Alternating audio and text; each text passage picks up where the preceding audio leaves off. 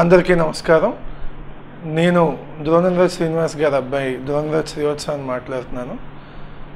ముఖ్యంగా ఏంటంటే ఈరోజు మన విశాఖపట్నం ఎలక్షన్స్ గురించి వస్తున్నాయి కాబట్టి మన ప్రీతమ ముఖ్యమంత్రి వర్యులు వైఎస్ జగన్మోహన్ రెడ్డి గారు ఏదైతే గత రెండేళ్ళుగా అధికారంలోకి వచ్చినప్పటి నుంచి ఆయన నవరత్నాలు అనే మేనిఫెస్టో ఏదైతే ఆయన మూడు వేల ఆరు వందల నలభై ఎనిమిది కిలోమీటర్లు సుదీర్ఘ పాదయాత్ర చేసి తాడిత బీడిత బడుగు బలహీన వర్గాలందరినీ కలుసుకొని ఆయన ఒక అవగాహనలోకి వచ్చి ఏది చేస్తే మంచిది అని ఒక సుదీర్ఘ ఆలోచన చేసి నవరత్నాలు అనే మేనిఫెస్టోని డిజైన్ చేశారు.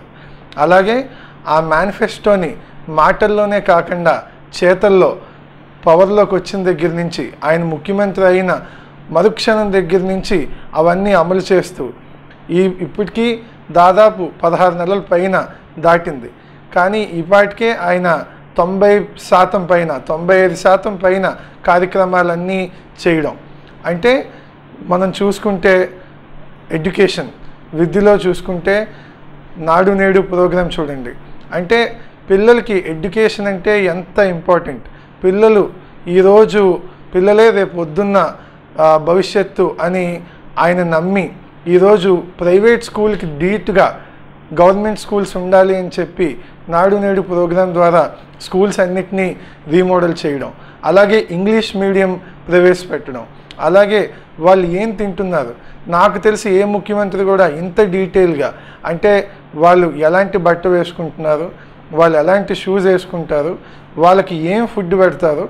అని చెప్పి ఒక మంచి పౌష్టికాహారం ఉండేలాగా పెద్ద పెద్ద డైటీషియన్స్ని వాళ్ళని పెట్టుకొని మరీ ఒక మంచి డైట్ తయారు చేసి అతి సామాన్య ప్రజలకి అందించేలాంటి మంచి కార్యక్రమాలు చేస్తున్నారు.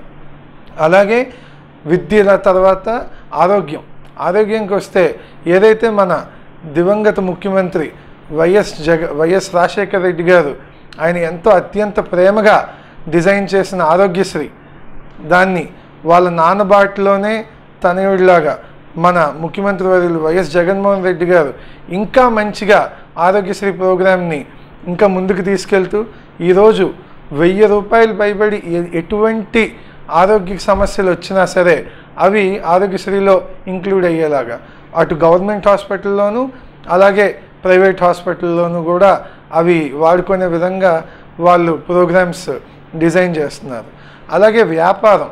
వ్యాపారానికి వచ్చేసరికి ఎన్నో స్కీమ్స్ అటు ఎస్సీ ఎస్టీ మైనారిటీ బీసీ అందరికీ అలాగే ఎకనామికల్లీ బ్యాక్వర్డ్లో ఉన్న వాళ్ళకు కూడా అలా ఎంఎస్ఎంఈ సెక్టార్స్లో అనేక లోన్స్ సబ్సిడీసు కార్పొరేషన్స్ యాభై ఆరు కార్పొరేషన్లు పెట్టారు బీసీ సంఘాలకి. వాటి ద్వారా అనేక స్కీమ్స్ అలాగే లోన్స్ ద్వారా వాళ్ళకి పెట్టుబడి పెట్టుకునే విధంగా చాలా సంక్షేమ కార్యక్రమాలు డిజైన్ చేస్తున్నారు. అలాగే వ్యవసాయం. వ్యవసాయంలో కూడా ఈరోజు రైతు భరోసా. రైతు భరోసా అంటే మన రాష్ట్రానికి అదొక వెన్నుముక్కలాగా. ఈ రైతుకి ఎటువంటి ఇబ్బంది లేకుండా ఎక్కడైనా ఒక తుఫాన్ వచ్చినా లేకపోతే ఏదైనా వరదలు వచ్చినా ఏదో సంవత్సరాల తరబడి నాంచకుండా డిసెంబర్లో అయితే వాళ్ళకి జనవరి ఫిబ్రవరి కల్లా వాళ్ళకి ఆ పంట నష్టం వచ్చేలాగా పంట నష్టానికి డబ్బులు వచ్చేలాగా. అలాగే కనీస మద్దతు ధర. వాళ్ళకి ఖచ్చితంగా వాళ్ళ ఏదైతే వాళ్ళు పండిస్తున్నారో అదంతా గవర్నమెంటే కొనే విధంగా మంచి స్కీమ్స్ చేయడం వాళ్ళకి విత్తనాలు ఇవ్వడం ఎక్కడికక్కడ రైతు భరోసా కేంద్రాలు పెట్టి వాళ్ళకి ఒక అవగాహన తీసుకొచ్చి గవర్నమెంట్ తరపు నుంచి ఏవైతే చేయొచ్చు అనే మంచి మంచి స్కీమ్స్. అంటే విద్య వ్యాపారం వ్యవసాయం ఆరోగ్యం ఇలాగ అన్ని రంగాల్ని కూడా సమపాల్లో అర్థం చేసుకొని అనుక్షణం ప్రజలకు ఏం చేస్తే మంచిది అనే ఆలోచనతో మన ముఖ్యమంత్రి గారు ముందుకెళ్తున్నారు. ఇదే కాకుండా చాలా రివల్యూషనరీ చేంజెస్ అంటే అడ్మినిస్ట్రేషన్లో ఈరోజు అంటే జగన్మోహన్ రెడ్డి గారు అనే పేరు ఇంకా చరిత్రలో ఉండిపోయే విధంగా వాలంటరీ వ్యవస్థని గ్రామ సచివాలయాల్ని తీసుకొచ్చారు. ఈరోజు అనేక రాష్ట్రాలు కర్ణాటక అవనివ్వండి మహారాష్ట్ర అవనివ్వండి మధ్యప్రదేశ్ అవనివ్వండి ఎంతోమంది ఈ వాలంటరీ వ్యవస్థని చూసి ఒక రోల్ మోడల్గా తీసుకొని వాళ్ళు ఇది పెట్టాలనుకుంటున్నారు. ఎందుకంటే మనం చూసాం లాస్ట్ ఇయర్ కరోనా అనే మహమ్మారి వల్ల మొత్తం ప్రపంచమే అతలాకుతలం అయిపోయింది.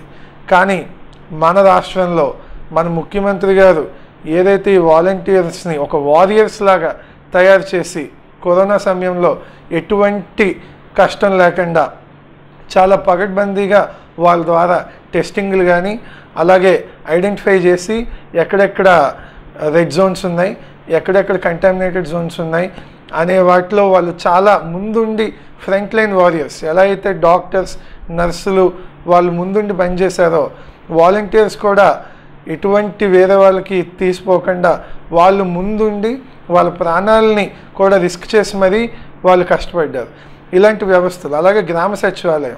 ఈరోజు ఒకప్పుడు ఏదైనా ఒక పని కావాలి అంటే ఖచ్చితంగా ఎంఆర్ఓ ఆఫీస్కో లేదంటే మనం వెళ్ళి సెక్రటేరియట్కో వెళ్ళాల్సిన పరిస్థితి. ఈరోజు అక్కర్లేదు. మీరే ఎక్కడికి వెళ్ళక్కర్లేదు. మీ దగ్గరికి మేము వస్తాం అని వాళ్ళే గ్రామ సచివాలయాలు పెట్టి ఈరోజు ప్రజలకి చాలా అందుబాటులోకి తీసుకొచ్చారు. వాళ్ళకి ఎటువంటి సర్టిఫికెట్స్ కావాలన్నా ఎటువంటి సమస్యలు వచ్చినా డైరెక్ట్గా ఆ గ్రామానికి సంబంధించిన సచివాలయానికి వెళ్తే ఆ పనులు అయ్యే విధంగా వాళ్ళు దాన్ని డిజైన్ చేస్తున్నారు. ఇలాంటి కార్యక్రమాలు అసలు మన దేశంలో ఎన్నడూ చేయలేదు. అంటే ఆయనకు అంత అవగాహన అటు అడ్మినిస్ట్రేషన్ అలాగే జనాల కోసం సంక్షేమం అలాగే వ్యాపారులకి ఏం చేస్తే మంచిది? మనకి ఆర్థికంగా ఎలా మంచి అవుతుంది అని అన్నీ ఆలోచిస్తారు.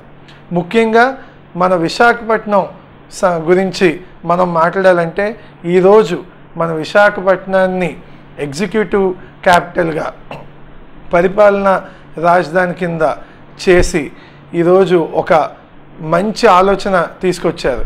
అందుకనే మనందరం అలాగే ఇక్కడ మన రాజ్యసభ సభ్యులు ఉత్తరాంధ్ర ఇన్ఛార్జ్ విజయసాయి రెడ్డి గారు ఆయన కూడా ఎలక్షన్స్ ముందు నుంచే విశాఖపట్నం మీద పూర్తి అవగాహన తెచ్చుకొని ఈరోజు అనేక ఎంఎన్సీస్ అంటే బహుళజాత్ కంపెనీలన్నీ విశాఖపట్నం వైపు చూసి ఇక్కడ పెట్టుబడులు పెట్టాలని అనుకుంటున్నారు అంటే అది ముఖ్యంగా విజయసాయి రెడ్డి గారు ఆలోచనలు. ఆయన ఏదైతే ముఖ్యమంత్రి గారు ఆయనకి ఆదేశాలు ఇచ్చారో ఆ మేరకు ఇక్కడ కష్టపడి అర్థం చేసుకొని మొత్తం ఏం చేస్తే మంచిదని మనకి మంచి పోర్ట్స్ ఉన్నాయి.